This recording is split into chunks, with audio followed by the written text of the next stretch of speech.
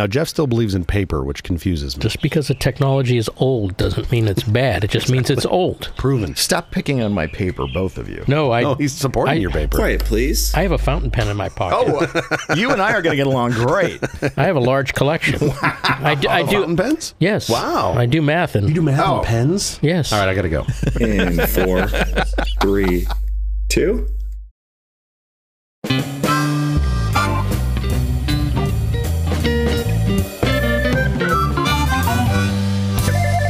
Company presents a truly terrible podcast. Welcome to Nonsense episode number 28. I'm Jeff Parker. I'm CJ Little. This is our take on the week's business, tech, and entertainment headlines. This time, we're chatting with Dr. Jon Arenberg, Chief Mission Architect for Science and Robotic Exploration for Northrop Grumman Space. Yes, the James Webb Telescope guy. And you can just call me Jon. I'm beyond psyched to be able to talk to Jon today. I want to say a huge thank you to Ron Niv and his wife Connie Chestnut, who works with Dr. Arenberg at Northrop Grumman. Shortly after I told Ron about this podcast, he put the wheels in motion to have Dr. Arenberg on, and we are so, so grateful. yes. Thank you, Connie. Thank you, Connie and Ron, for making this happen. It is Embrace Your Geekiness Day, which is perfect for us. I feel like we've done that. I feel like we've achieved that by having Jon here today. I should have worn my binary shirt. if you are unable to embrace your geekiness today, you are dismissed. yeah. it's also National French Fry Day. Are you a French fry fan? Oh, absolutely. What's your favorite French fries in town? Other than the ones I make, you Wow. make French fries? Oh, yeah. Of course you do. uh, I love to cook. Be honest, I like McDonald's. well, sure. Uh, Most, Everybody yeah, does. Everybody uh, The problem with McDonald's fries is the half life. They're really good when they're hot. Absolutely. They're okay when they're warm. When they're cold, they're just No, terrible. no, they're, it's a highly designed product and it's perfect. But there's lots of good, there's lots of good ones around town. Give me your top three Islands, islands. Yeah, yeah. which of course the bottomless feature is is uh, is achieved. Mm-hmm. My favorite deli in Santa Monica and Froman's is is good, and Oh, yeah. then uh, the one I haven't had. The next always, one. always leave room. That's a- I like that. I like that. We'll, we'll round table this. I was not actually expecting Dr. Arenberg to be here. he is actually a little bit early, so I'm I'm excited he is here. So we're just going to include him in the beginning of the show. How's your week going? I mean, we made it through the work week, and now I'm on the, the, the work weekend, and so I get to do whatever I want, like things like this, and the fun part of my job, the fun problems, and I don't have to do the training and all the rest of it, and I can go home and do some math problems and pay attention to my wife. in and, pen. I've heard you do them and cats, in pen. yes, I do.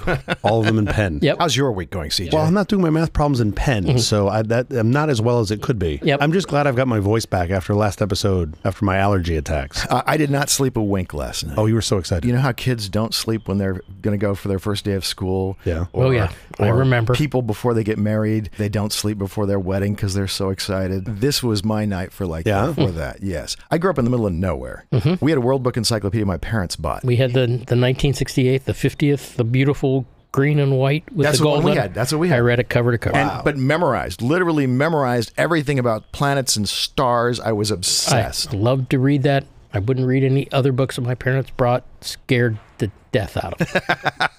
Wait, so how do you guys feel about Pluto? Because that's been a hard fall. now a Plutoid. Plu- Pluto's very emotional. Right? My uh, my family, my late father worked for the Discoverer uh, when he was a, a soldier at Oh, really? White Sands, and so he was emotionally attached to that discovery as a planet. The scientist in me understands that things need to be properly classified, and the original classification was not correct. We did not understand the solar system. We still don't. Sure. But we're getting better. But we're getting better, and, and in fact, James Webb is going to help Yeah. quite a bit. Yeah. I think it's a natural evolution, but I also think it's very telling of uh, people in their times that they that they hold on to So these kinds had, of we, emotional you and I had the same encyclopedia. When Carl Sagan's book Cosmos came out, Mm-hmm. I went to our local bookstore and got the guy, literally got the clerk to cut the box open and took the first one out of the box. Was that a big deal for you too? Let's see, that came out later when I was in school and, and, and busy studying physics. So, Okay, so I, right. I bought Less it when I had you, the less for you. because I was otherwise occupied. Also, I grew up in Northern California. Many of the dads of the kids at my school were employed at Aerojet. And so, you know Pinewood Derby is? Mm-hmm. Oh, absolutely. The, the cars Yes. that race down the track. All the dads were literally rocket scientists. Yes. And I came in, my dad was not a rocket scientist. I b- had my blocky, horrible Pinewood Derby thing that I made. Theirs went down the track five times before mine got out the gate. Yeah. It was amazing. But the cool thing was, they all like took me aside and said, you know, here's, try this next time. Sure. Do this next time. Yeah, it was we had, amazing. We had s- similar in, in Santa Monica at the time. There was lots of scientists business and very techie dads and, and quite a few moms, in fact. In my Cub Scout pack, the parents made a deal that the kids were going to do the, That's a good deal because literally the kids, except me, because I had actually made my car, the kids weren't even in the room. Sure. It, this Yeah. was dads racing against dads, and it was fun. That's a whole different. Yeah, no, no. That's a whole different thing. that would be fun now. Ehrenberg or Arenberg? Ehrenberg. Ehrenberg. Well, you, you see A R E and people think R. It's Ehrenberg. That's how, that's how we pronounce it. That's how we- That's the one I care about. That's the, one, one I it's care the about. way my parents taught me how to say the name. So Should we- where, where are the Ehrenbergs from? actually my father's family's from Chicago, Milwaukee. But back Been- before that, We hail from Europe, but actually several stops. The current Ehrenbergs, and it's actually spelled several different ways. Yeah. Re-immigrated from England after Eastern Europe. Way back in time, family was largely, as I understand it, innkeepers. In fact, there's still an Ehrenberg hotel chain in Europe. oh, cool. great. And people got out of uh, Lithuania and settled in England, and then a number resettled in the in the states in the 19th century. The center of gravity of the Ehrenberg family is in Chicago, Milwaukee area. Great area. My father was one of the the adventurers, the One of the ones pioneers broke that free. that broke free, and you know wasn't in a family business and Yeah. went and did other things. just thought I'm getting out of this cold weather. he got out of the cold weather. He proudly said he was from Chicago, even though he had lived in Southern California, you know, four times longer than he was. Sure, sure. Sure. But Anyway, the seven year old inside the 60 year old Jeff is very excited to be here today. Typically, at this point, we'll look at some headlines in the tech and science news. So, Okay. so have you signed up for Instagram threads yet? I know what it is. I'm. Yeah. Are you a I'm- big social media guy? No. Social media came out. We, you know, we were counseled not, you know, from our security not to do it. I, quite frankly, I spent enough time behind a screen. Yeah, yeah. I did sign up for Twitter because that was part of my job promoting Webb from back in the day. But I use it a little bit. You're using it for work. I'm using it for work, and then I'm a little old-fashioned. That my social network is is phone calls and meeting people in in person. Let me just say something interesting about, about Threads. Interesting to me. They're using ActivityPub, which They're is using- the open standard for, for social media. It's which unclear is if they're kinda using cool. ActivityPub. They're saying they're going They plan to to use it, ActivityPub. yes. Yeah, yeah. I'm so what what Jeff's talking about here is uh, Threads from Meta. I'm pretty sure they stood this thing up in like six weeks. I do not think they've been working on this for months. Wow. I think they looked at the dumpster fire over at Twitter and said, "This is an opportunity for us to capitalize. We've got all the infrastructure, we've got all the engineers." If anybody could do it, these are the guys who could do it quickly. And what's amazing to me, like I think the real headline here is you've got a, a brand who doesn't have the best of acceptance amongst users right now, right? They've made some missteps, and this could be the thing that saves them. Like this could be the thing. Maybe wait wait till you see the video I'm going to post in the show notes. Sure. Yeah. Look, I mean, you're you're picking amongst the other, the, you know, the, the various evils, but I think this could be uh, this could be an interesting save. We'll see. I had like a day on on Threads where it's like me and ten thousand other people for about a minute. No, now it's- and then it two million. Now it's thirty million. It's the now fastest growing app ever. They started on Wednesday. By Sunday, they had over 100 million accounts. It's been a fun- absolutely, absolutely a amazing. fun cliff. The other thing about Threads that we that we should r- just quickly mention is uh, Elon Musk is already suing them. I know you stole our engineers. No, you actually fired half of them. They're still good engineers, as it turns out. Trade secrets? I Yeah. think there are, are actually any trade secrets. This doesn't seem like anything. That, Yeah. This is as plain vanilla Doing- as it gets. It's a database and a Do, front doing end. strlen less than 140 is not a trade secret. Elon. Right, Yeah. right. Yeah. I'm- I'm well, not- Meta has come out and said that they have not used any Twitter engineers on this. Zuckerberg has never lied to He's us never before. lied. He's never lied. So social media is not your bailiwick. No. Good man. Telegram has become a window into the war. Yeah. This Telegram is a messaging service. Yeah. It's like Signal. It's like It's not whatever. like Signal. That's the problem. Well, the encryption's not. No, The encryption's not. I still don't trust Telegram at all. There've been too many you don't stories. trust. of- You don't trust the encryption of Telegram. I don't trust the encryption or the You people shouldn't. that You operate shouldn't trust the encryption of Telegram. Yeah, yeah, of course. Kids don't roll your own. I mean, there've been there've been accounts of people in a one to one conversation having read receipts sent for things they didn't open. That Yeah, should yeah, concern you. Everybody on the ground in, in Russia and Ukraine use Telegram. and to some degree, you get to see what those people are thinking. Pr- Prigov, what's his name? I can, I can never pronounce Wagner. Yeah. Yeah. he was like uh, he went back to pick up apparently five guns, and he's supposed to be exiled to Belarus. And then there's a video of him going back to Russia to pick up like five guns. I'm like, what? Why don't you send like an Uber for that? So there's clearly something else afoot. Uber gun. Uber gun. Yeah. Wasn't familiar with You that. don't go back to pick up five guns. Anyway, So, don't know. There's so nobody there. picked him up. I mean, is this just all a political ruse? They don't. They really actually no are getting idea. along. I don't think they're. I don't, I don't think they're. I mean, getting that's along. crazy. Getting along seems like a bit of a stretch to me. He's Putin's former caterer. Yeah, I mean, it's right. something like that. Yeah, Yeah, something Yeah. like that. That's right. Yeah, That's Yeah. why Putin trusts him. Well, trust because he because he makes the good mac and cheese. Totally. You think Putin orders a lot of mac and cheese? I'm sure he think does. it's high on the list. He's like, I could have Actually, caviar. no. Having seen him shirtless, he, he probably doesn't order any, Any mac, and cheese. Yeah. Right. If you saw me shirtless, you'd realize I only order mac and cheese. A flying car prototype just got an airworthiness certificate from the FAA. Ah, this is super exciting. This is a tiny car. We talked about last week. We talked about an air taxi. The Joby air taxi, The Joby yeah. air taxi. Are you familiar with this? Air taxis are big development Yeah. Yeah. activity, right? This is a, small a one or two person car that has a road range of 200 miles and a flying range of 110 miles, which is remarkable to me that it's, it's that close. Yeah. It seems like it would take so much more energy to get in the air. The Vehicle is going is expected to sell for around $300,000 each. Are you going to get one? Probably wait. You probably right. for, the, for the second gen? Yeah. Yeah. Jon's like, I don't want to be the early adopter. I'm not going to be the early adopter on the flying car. You want to wait? For, you want to be like three gens on that. This, not, this isn't an iPhone. No. Like when it crashes, it it crashes. You really don't Yeah. wanna be wrong. Yeah, you don't. Yeah, that's not Certified something- as a low speed vehicle, which means it won't be able to go faster than 25 miles an hour on a paved Yeah. road. Mm-hmm. You got so much less stuff to deal with as an AI in the air than you do on the ground for now. Yes. Also, the For. Joby is takeoff and landing is fairly quiet and it's quiet flying over. It's like, what's your comparison? We're quieter than an F 14. Okay. Yeah. Good job, guys. like, yes, while true, there's still some room for improvement. The majority of my cars sound like that. My neighbors are just like, oh, he's home. You have to drive cool cars. I Drive some nice uh, cars. Are, of Oh, you're course, a car guy? Of course you do. You oh. have to be a car I- guy. Well, I live in Southern California. Yeah, of course. I'm a car guy. Yeah. but also, be, you're you're engineer minded. You you've Yeah, got to. That's so got to like- be something that lights I, you I up. do like a well-engineered car. Absolutely. Are you going to tell us? Give us a hint. What you like? I grew up driving Volvos. I own an Audi now. I like it. It's very comfortable to drive Yeah. in. German engineering's great. Although I get to rent a lot of other Oh, great yeah, cars, sure, and so ones. compared to the variance in car quality when I was growing up and as a teenager, oh, which Oh, well, you know yeah. was an adventure whether they'd turn on or of not. Of course, of course. They're far more yeah. reliable, ver- all very comfortable. The cheapest, crappiest car money can buy these days pretty much is reliable. Absolutely. Oh, that's that's such a huge advance in in cars. If your interest is in getting from point A to point B, they pretty much do that now. yeah. Oh, software. I mean, Although the car my my father gave me after I graduated college in the 1972 Datsun 1200 was Ah. was fun. I could I could repair it with a C clamp or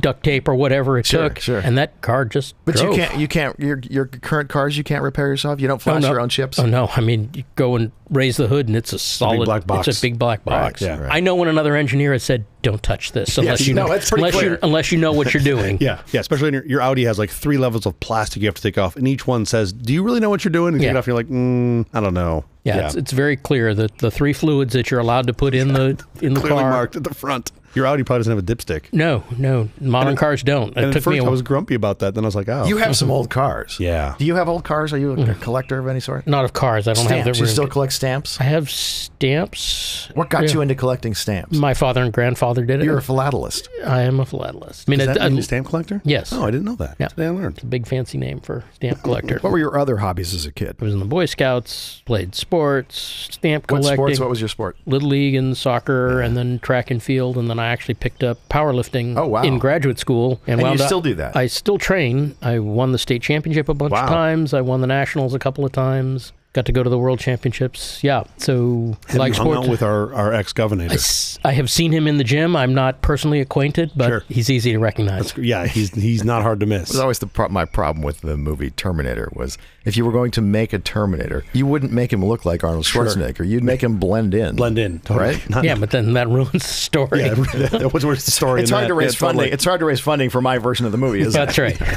the beige Terminator. Okay, enough of our headlines. Up next, Dr. Jon Arenberg, Chief Engineer for the James Webb Telescope, is here. Now we're actually going to talk some James Webb. Are you okay if we start before James Webb? Sure. Okay, because there's things I want to know about leading up to James Webb, if that's good with you. Okay, and you can call me Jon still.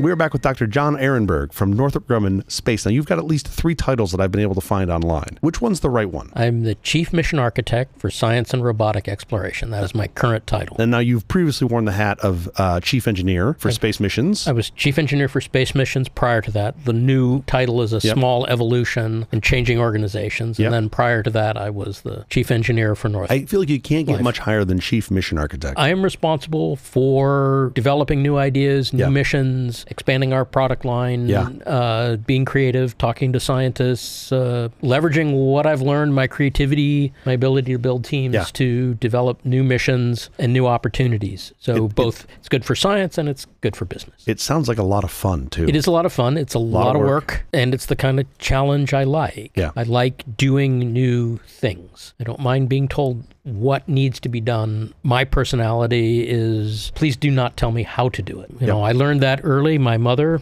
my late mother, taught me how to cook at an early age, and I like to cook. When I was an adult and, and married, I would have my mother over quite frequently for dinner. And one day I was cooking something she had never even heard of. And when she was over my shoulder saying, Oh, you're not doing this right, Get I, out sa- I here, said, Mom, go go talk to your daughter in law and play with the cat. Get out the wooden spoon, And smack then her on it, the wrist. And then it, I never did that. Much better son than that. Good. I politely suggested that she would have more fun. Excellent. But that was my realization Yeah. that that's my personality type. Like any job, you want to lean towards things that emphasize your personality type. So, What's- you know, one of the things cooking has also taught me is it's not only a creative act, it's also an act of engineering. Yep. You know, the fundamental requirement is get everything on the table at one time, hot or cold or in the right condition. Yeah. This is not easy. But that's not the science part of it. That's the that's the that's- business part that's of it. The, that's the organization that's part the, of it. And that's a big part of what we do as 100%, engineers. yeah. Is all the parts ready to go at the right time with the right design, you know, made in time, set back and under all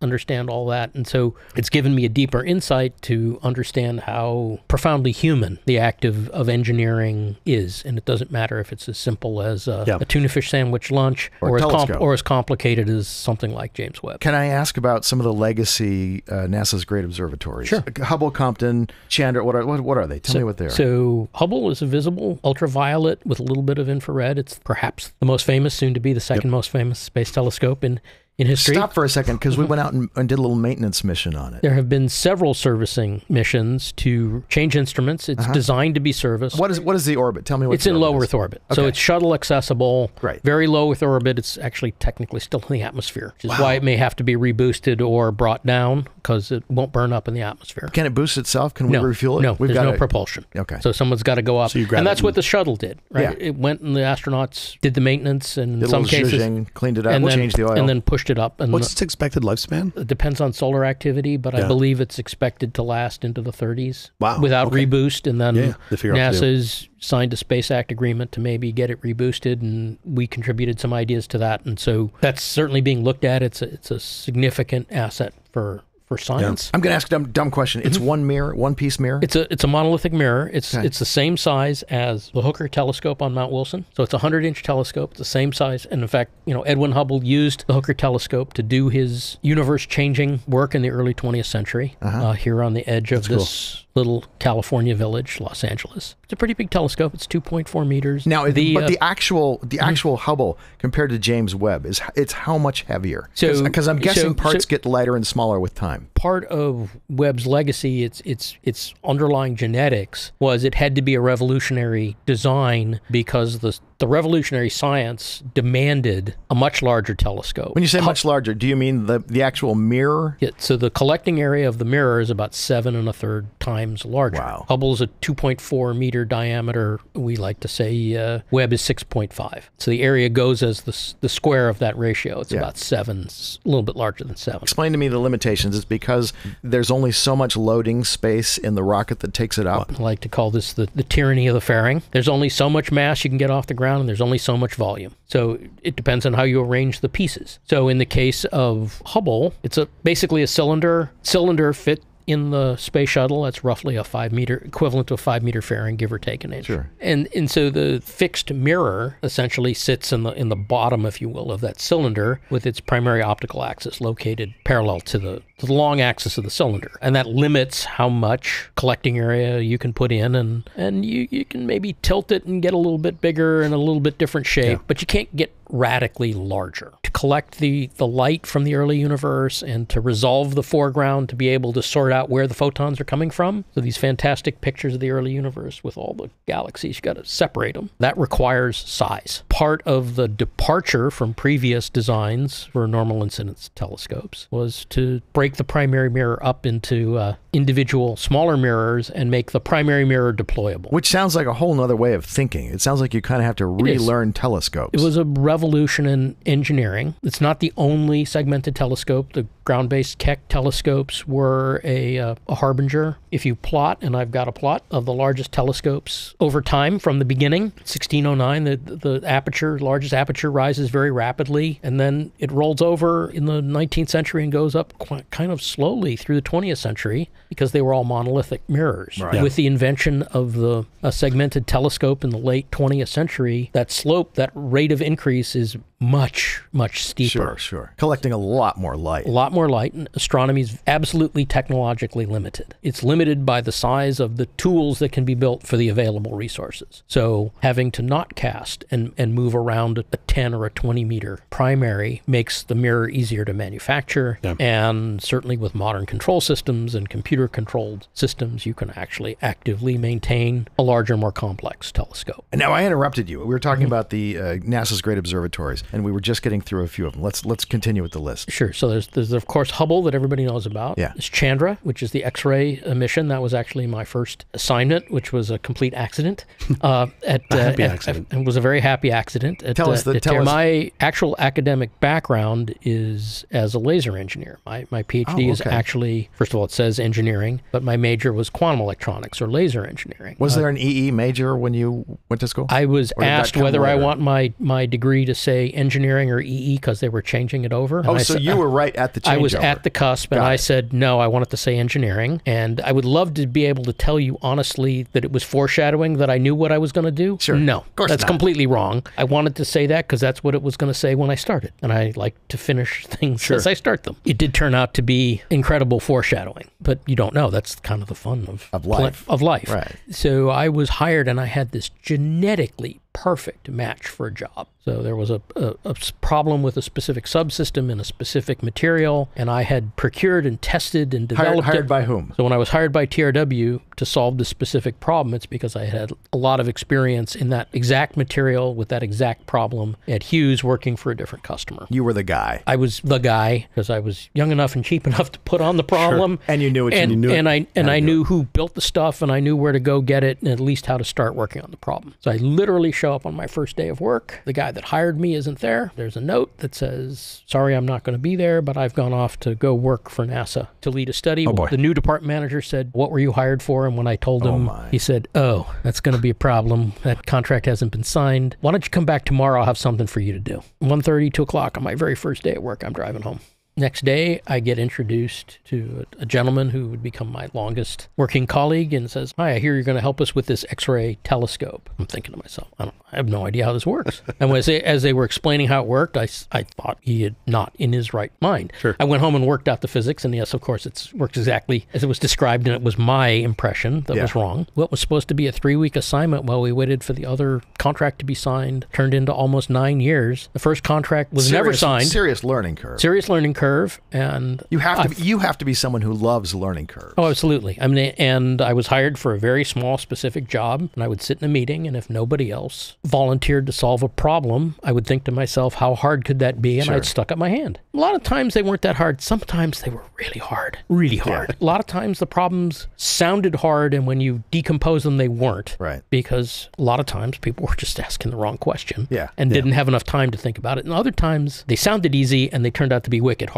That's how you build these big complicated things. You got to get in the weeds and Right. figure it out. Do the math, as as as everybody likes to say. Is there And- anyone? Can I just interrupt you a second? Is there anyone in the org chart above you who is in the weeds, or at that point above you, does it just become corporate? No, my, my my job is to decide when somebody a senior person needs to get in the weeds and when it will work Oh, work but out. they will. They will. You do have people who will. Oh, I, I've got lots of other colleagues from other specialties, and when we have a big problem, everybody helps. A lot Yeah. of brains. Even sometimes a manager might have in his his or her background specific experience that's directly relevant, and so you go get them to help. Right at that point, you get everybody you need because mission success is job one. Sure. In your org, is that all indexed in your brain, or do you have like a system that you go to when you have a specific problem to find the person? kind of a list in my head Yeah. or knowing who to ask and and To know, and yeah. you know everybody has their their own personal personal mental Rolodex. And sometimes because a lot of the problems are new, you know, they're not identical, but they're they're similar and you get a feel and you say, okay, I need I need somebody like this and somebody like this and somebody like this. And and sometimes even the best teams are just arbitrarily thrown together. And you get lucky, and sometimes you don't. That's right. The people part of the, the business. And so you got to get the right chemistry and the right intellectual mix, Yeah. or the right leadership, or the right sense of fun, or the right sense of whatever it takes to get the job done. But by and large, engineers are very optimistic, want to help. They will do the best they can. Engineers as a whole are don't have a reputation for being social animals.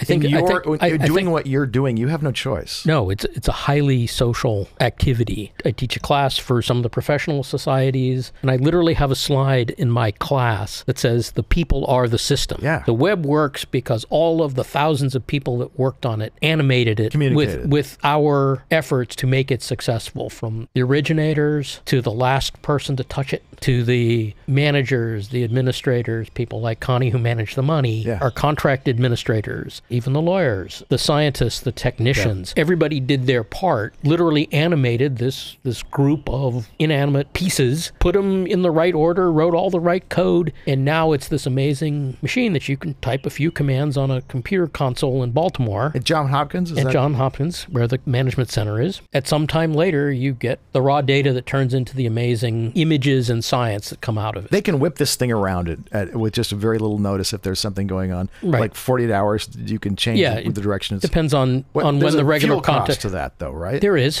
How much- but, how much but, fuel- But how some much of fuel is that's up there? so that we had to have a requirement for for twice the required lifetime, so 11 years of fuel. and that's if the John Hopkins people don't do anything like joyriding. They're not no, whipping ac- that thing no, no, no. Actually, actually, when we designed it, it was no restrictions. So people Oh. were doing the craziest things, and we would created almost 200 hypothetical observing years. Figured out which one took the most fuel. Did that for all 11 Wow, years. that's So, cool. so so there's room. There was actually room in the tank, so that got filled up, and then of course we got a great ride out of the Ariane folks. So we didn't spend extra fuel getting to orbit. So I believe that NASA was estimating that there's about 20 years of fuel. How much is that? 46 gallons? How much fuel is in the thing? It's a few hundred kilograms of propellant. and what are we down to now? What's what's the tank on? Is it? Oh, I'm, I'm we- sure they barely touched it. If you're going to last 20 years and we're at the end of year one, so it's roughly 5%, if, if it's that much. And, and that's something that, that I know the Institute and the planners uh, look at very carefully how to organize and schedule the observations to be the most efficient for the resources that are available. I'm, I'm certain of that. What do we learn from X-ray telescopes? X rays allow us to see highly energetic events, so things like exploding stars and the, the envelopes crashing into gas. One of my favorite images was, was the original first light image for Chandra, the Cassiopeia A, a supernova remnant. First of all, we were able to resolve the neutron star in the center, and that's been examined in subsequent years and has been analyzed and colorized. And in that exploding supernova remnant, Are all the image images colorized? Because they're Yes, all like they- yes, outside Yes. of. Well, first of all, X X rays X-rays, Yeah. you know, have to be colorized to give them. In the case of the Cassiopeia A image that I'm thinking of, they've all been colorized by the typical elements that they give off. And So you are colorizing with some knowledge of what Oh, absolutely. No, This no. should look- there- there is a reference to this. You're not making it up. No, no, no. The folks that do it do it very deliberately, uh, very consistently to bring out the science content of the image or Yeah. to make a point. They're taking lots of them. I don't think every image is colorized. Sure. So the ones that are released are the ones that are in focus and don't have a thumb in front of the Well, lens. And That's all that right. stuff. When ET comes and leaves Yeah, his thumb on the lens, yeah, that doesn't ha- doesn't happen very often. But one of the things I love about the Cassiopeia A, and it's one of the backgrounds on my computer, is all the elements necessary for DNA are, cool. are in that cloud. So when you talk about the search for life, the first step is you have to have the atoms. the elements, yeah. You have to have the, the elements. There they are. It's another window into the universe, and we know more about the physics because we understand what's happening at all wavelengths, not just visible or infrared or radio or gamma rays or other. Which is why we need multiple telescopes. Correct. It's why we need a lot of telescopes. That's why we want to eventually image the whole electromagnetic spectrum. Yeah, right. Every layer of the onion, you're just like, okay, Yeah, wait. and I and I would certainly be remiss in not reminding you and your listeners that in about two weeks or a week and a half, on the 23rd of July, that'll be the 24th anniversary of launch. Wow. And so we will start the 25th year of our five-year mission. That's one of my favorite things. With, with- Um, it, it's made to last for 30 days on Yeah. as as the Well, opportunity is going around Mars, Let's- and let's- it lasts let- for 4,000. Right. Well, and days. again, you have to design it. I know some of and that's analyze luck. it. Well, no, it's not Like I Because said, it's- it's like I said, it- none it- of that's luck. it's it's it's it's it's part of the condition, right? So you have to prove that something's going to last at least as as long as Whatever- whatever, the whatever the span requirement is. Right, right. Well, this means you you make a lot of worst case assumptions, what we call conservative Yeah. engineering, and in some senses that's far less expensive because the, the brains and the people are the expensive part of the mission, not the hardware. They are large capital investments, so you do want to have that long lived, that that value Yeah. uh, to them, which is why things like Voyager have been working for Yeah. 45 years. Yeah. And, and I'm going other to things. disagree with you about something you just said. Okay. You just said they are large capital investments. For what we get out of them, they're cheap. They're They- they- super cheap. They're very efficient. Okay. It- they're very cost efficient in terms of the knowledge, the inspiration, the soft power, all, all of the all of the good things that we do them for. Yeah. But I also want to convey that we're we try to be as responsible as we can to the course you do. resources. I'm not saying- right? I'm not and saying so that in I, any way. Uh, so if I come along and say that they're not very expensive, it sounds like I'm I'm downplaying. It I'm going to say the- I'm going to say it for you. We're going to come back. I'm going to ask Dr. Arenberg. I'm going to tell him something that makes me a little crazy about the space program. Okay, in, and you can call me this Jon. Country. Thank you. I'm going to ask Jon, and you can talk me down, okay? Or don't. Maybe, Okay. Maybe you don't. Maybe you agree mm-hmm. with me. Okay. All right. So we'll come back and we'll do that. All right, great.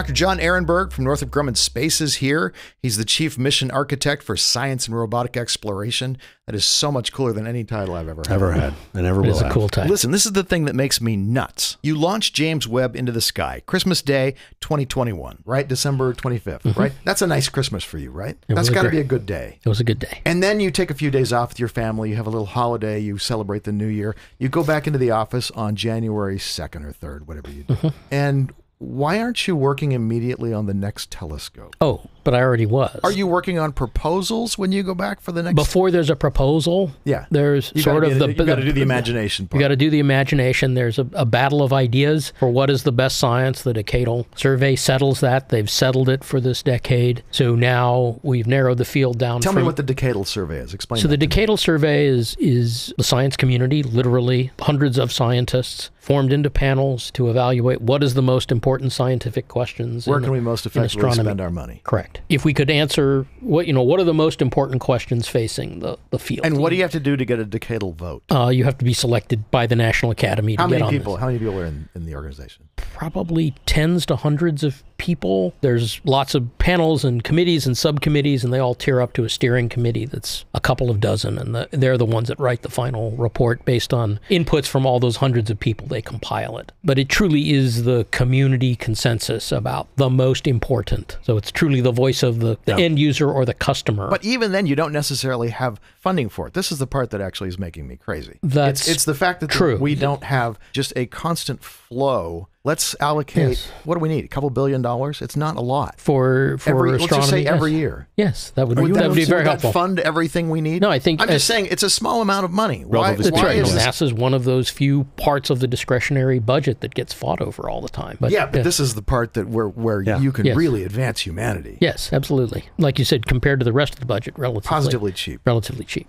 Yep. These missions have long gestation times. I, I told you the story about my first day at work. Yeah. That was in May of 1989. The guy that left to run a study, that study became James Webb. Oh wow. Okay. These are very long development cycles. They take a lot of consideration, reconsideration, analysis, reanalysis, reimagination. You have these enormous brains that we've invested an incredible amount of money and effort into. And if there's any time where you are not able to work at full speed, or the people you work with are not able to work at full speed, that's expensive. That's actually expensive. That's right. So the fact that we can't leverage all of the investment back to the economy, if you will, Right. is a lost opportunity. And the cost of that opportunity is huge. That's right, but it's it's very hard to calculate. I only get so, many years out of out of out of Dr. Jon Arenberg. That's right. And any time wasted is unrecoverable. That's right, and it's not just me. It's No, no, of my course, hun- of course, but you it's know what my- I mean. But it's the hundreds of colleagues Of course. that, that represent this substantial substantial body of knowledge, this corporate knowledge, I, if you I will, need you all working at full speed Mm-hmm. all the time. and training the next generation. Correct. So how is how is Webb unlike previous space telescopes? You talked about obviously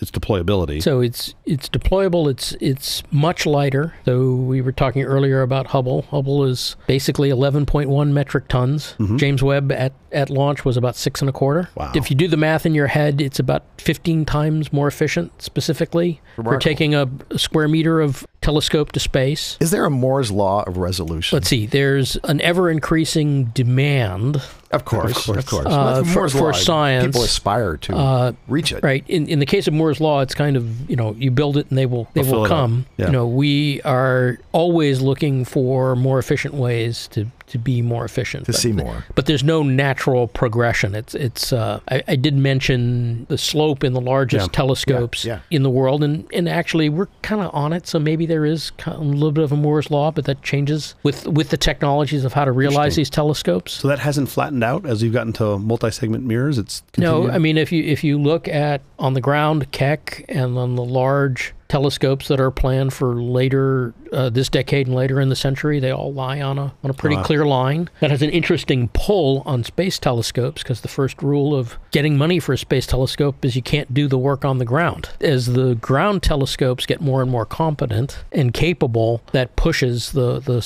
the space telescope. So there is actually, if you want to think of it, a, a demand pull for ever larger, more sensitive instruments in space. How does how does an Earth-bound infrared telescope even work? It seems like you're going to Well, hit everything in the atmosphere. That's true. There are certain wavelengths where that rule is very easy to apply. Right, like right. you can't do it from the ground. Of course. X-rays are a classic example. There was no X-ray science in the era of Galileo because you needed to get out of the atmosphere. So it's, it's very much a 20th century, 21st century study. Some infrared you can do from the ground. Some of it you got to go to space for. Some visible you can do from the ground. Some of it you got to go to space for. And so that's part of this early mission design. What are the strengths of the systems? What can be done on the ground so you don't do it in space? And that's always changing. So this is part of this early mission formulation that we're doing now. What's made Webb unique for Northrop?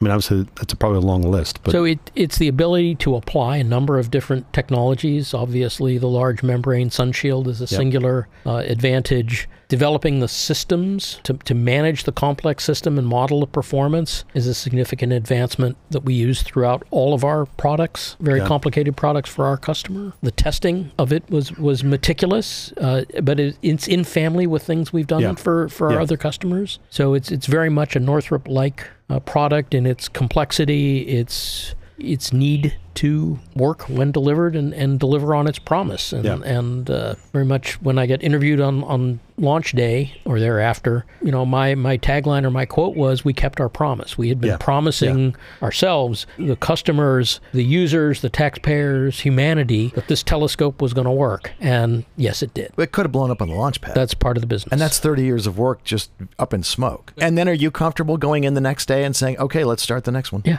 I mean, mean, 'cause that's part of the to. business. You It hasn't to. happened to me, but I certainly grew up on those stories. But no one should feel any shame if that happens. You pick up and you start the next day and you, gotta go again. That's the nature of the business. It you have to be unafraid. You can't be paralyzed by that fear, right? Which is why some people are drawn to this business or certain parts of the business, and other people aren't. Like any super team, right? You you get you get people who are attracted by the necessary skills to achieve that job, and they they get it. Whether it's a, a group of Navy SEALs or a group of engineers or a group of super doctors or a group of super lawyers or whatever. And I think those teams all have that similar dynamic. So I've found my found my niche. what else is at L2? So these five points, called the Lagrange points, orbit together around with the Earth. So what that does is that Orbiting allows the sun orbiting with the, the sun Earth. with the Earth. There are other satellites. Uh, L2 is actually a very large area. Our our orbit is about five. 100,000 by 800,000 kilometers. So it's not crowded like low Earth Yep. orbit. So the L2 orbit, 94 million miles from the sun, if, if, if it was just dropped into an arbitrary point, would orbit in 374 days and eventually drop away. Because of where it is, it orbits basically 365 days. Same orbit period as, as the Earth. And that allows to easily phone home. The Earth is in the same place basically all the time.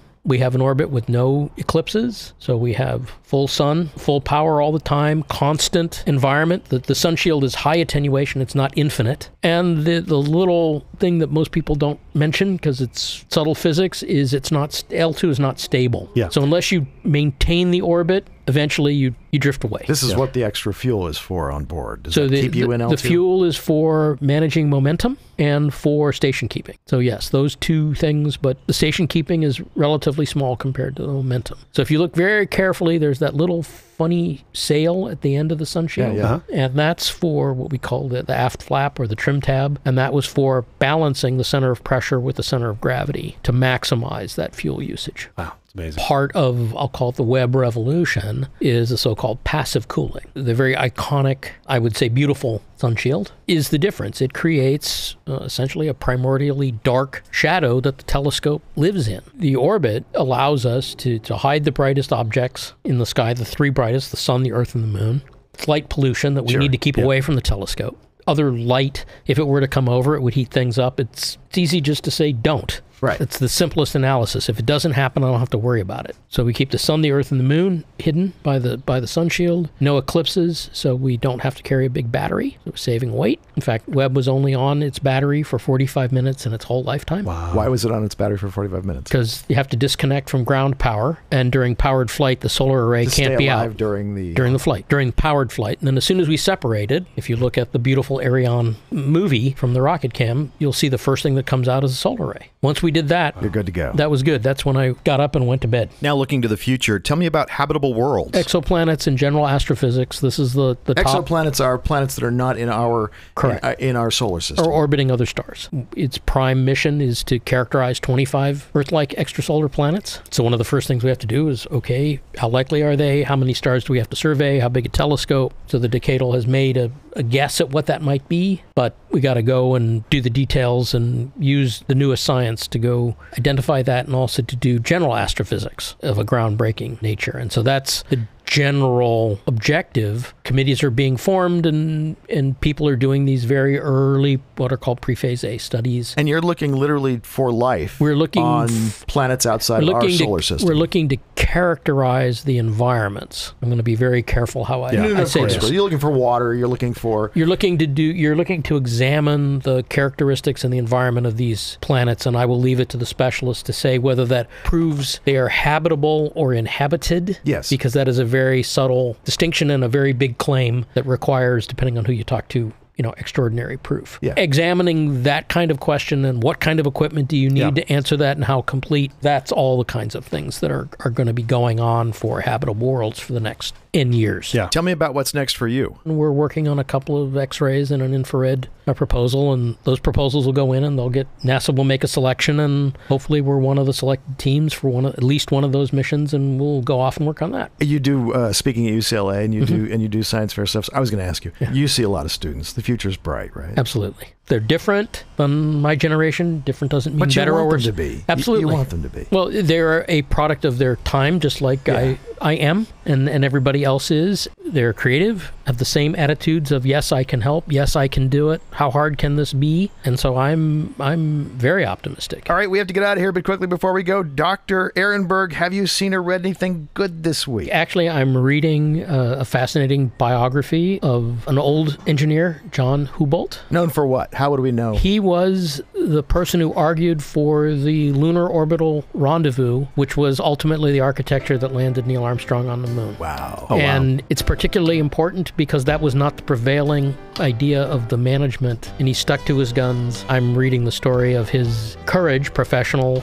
and otherwise, in proffering this solution as the right answer to get Neil and Buzz on the moon, but to meet President Kennedy's challenge. So that's that's what I'm currently reading. Very cool. The time went by too fast, but that's the episode. Thank you for joining us for all this nonsense, a truly terrible podcast from The Awful Company. Visit us on the web at nonsense.productions. I'm CJ Little. I'm Jeff Parker. I'm Jon Arenberg. If you like this program, please follow, download, subscribe, and like at Apple and Google Podcasts, Amazon Music, iHeartRadio, or our favorite, Overcast, wherever you get your podcast from. Podcastindex.org. Special thanks to our floor director, Josh Niv. Thanks, Josh. He's our favorite Clippers and Angels fan. And thank you again to Dr. Jon Arenberg. We could not be more grateful for you stopping by. Thank you for the opportunity. And another thank you to Connie Chestnut and Ron Niv for making it all happen. It's been a lot of fun. We'll be here every Thursday morning for more nonsense. Join us.